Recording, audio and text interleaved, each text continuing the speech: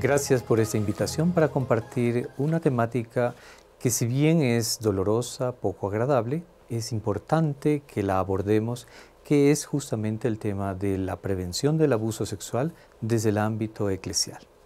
Mi nombre es Carlos Ignacio Manjín, soy sacerdote jesuita y quiero compartir con ustedes estos desafíos, estas experiencias que hemos aprendido y hacia dónde nos encaminamos en esta tarea de la prevención. Lamentablemente nos encontramos ante un escenario sumamente desgarrador. Las estadísticas nos indican que muchos niños y jóvenes son víctimas del abuso sexual. En nuestra sociedad, en los colegios, en distintos ámbitos, incluso en la iglesia, nos sorprende conocer casos de personas que han sido vulneradas, lastimadas, ofendidas.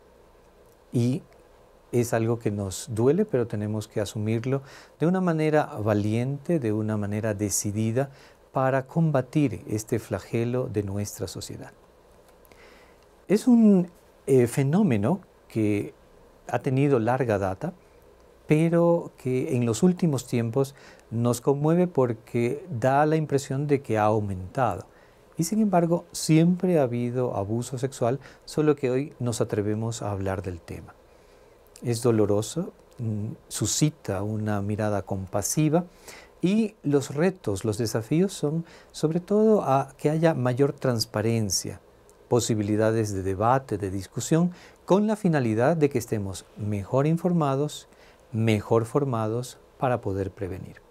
Desde el programa de prevención del abuso sexual de niñas, niños, jóvenes y adolescentes, nuestra convicción es que la mejor prevención es la buena formación. De esta manera, insistimos en que tanto las personas que están directamente involucradas con niños y jóvenes, tareas pedagógicas, tareas deportivas, de recreación, es decir, en definitiva, todos, nos formemos para que podamos estar más atentos y no pasen ante nosotros estas señales de manera inadvertida. La Iglesia también ha tomado eh, cartas en el asunto. En el mes de febrero de este año 2019 se reunió en, la ciudad de Roma, en el Vaticano, un gran grupo de invitados, eh, presidentes de las conferencias episcopales en el mundo, con el Santo Padre y con tantas otras personas expertas para abordar esta temática. La respuesta es ratificar la tolerancia cero, reconocer todos aquellos errores que se han cometido y poner hacia adelante las distintas orientaciones con mucha claridad, con transparencia, para que sean ejecutadas.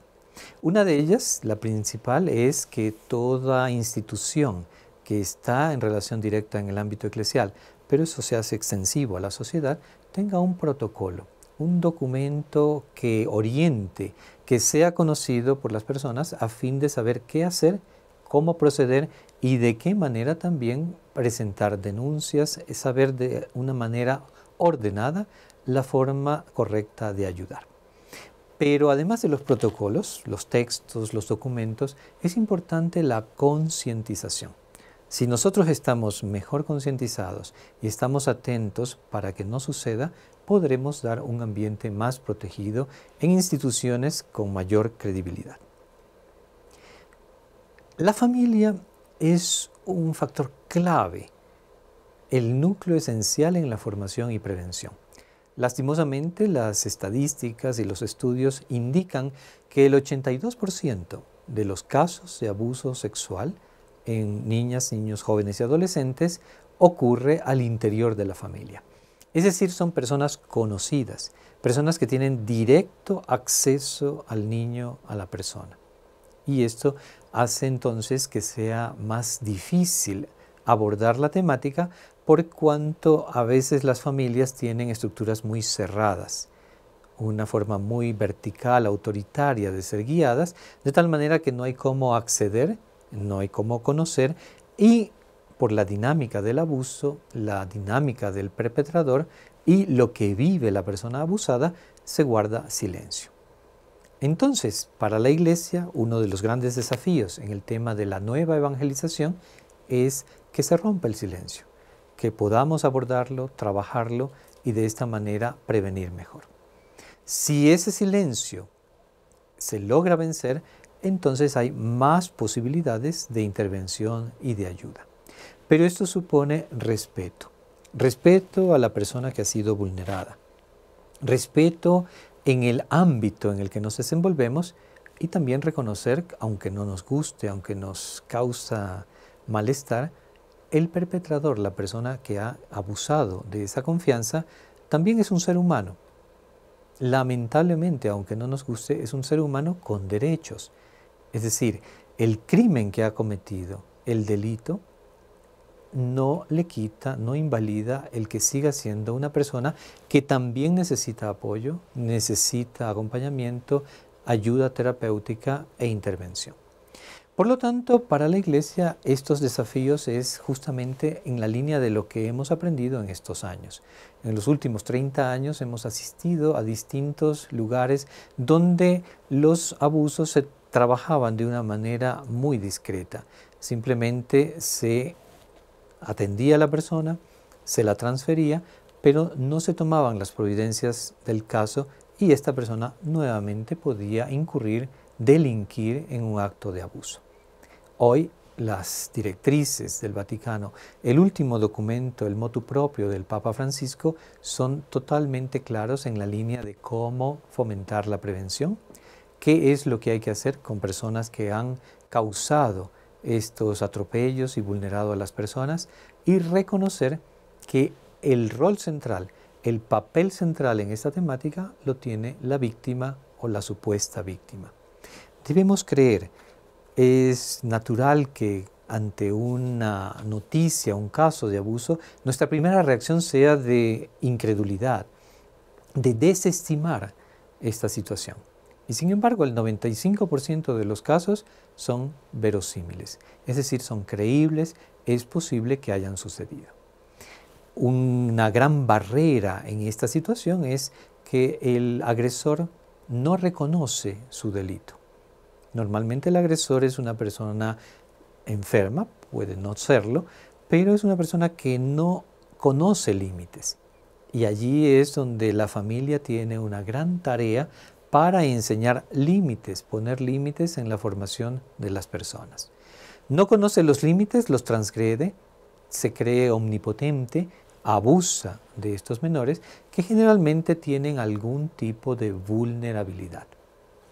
Pensemos en niños que tienen dificultades al interior de su familia, baja autoestima, eh, aislamiento, eh, situaciones que hacen que la persona no se abra naturalmente y no pueda pedir ayuda cuando debe hacerlo. El resultado es justamente esta situación lamentable de abusos tanto en la sociedad como al interior de la iglesia. Pero afortunadamente aprendemos de nuestros errores, buscamos soluciones. La Iglesia Católica lleva algunos años en una tarea muy profunda de prevención. Existen programas de formación, algunos online, para que las personas tengan acceso, se documenten, se informen, pero al mismo tiempo sean capaces de desarrollar esa capacidad empática que les hace seres imprescindibles en la tarea de prevención.